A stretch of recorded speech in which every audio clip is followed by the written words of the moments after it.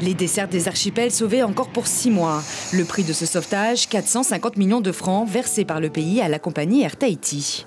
On ne peut pas penser qu'on va se retrouver pendant six mois en, 2021 sans que les populations des îles ne puissent euh, euh, voyager, venir sur l'île de Tahiti et vice-versa.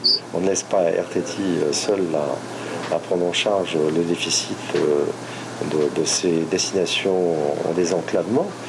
Donc on, apporte, ça va faire 900 millions de francs d'apporter sur une année. Wapou est l'une des dessertes les plus enclavées aujourd'hui. Alors cette annonce satisfait, mais ne rassure pas complètement.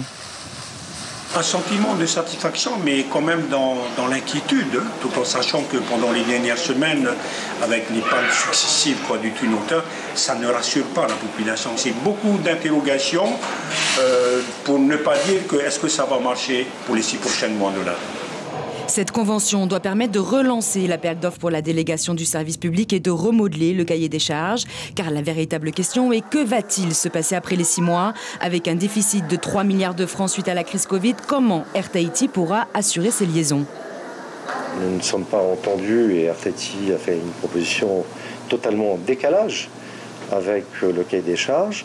Notre souhait, c'est que Tahiti puisse, euh, se mouvoir dans un cadre euh, qui sera ensuite soumis au travers de l'appel d'offres euh, et euh, que ce cadre soit, je dirais, un peu plus en, mouvance avec une réalité économique qui existe aujourd'hui.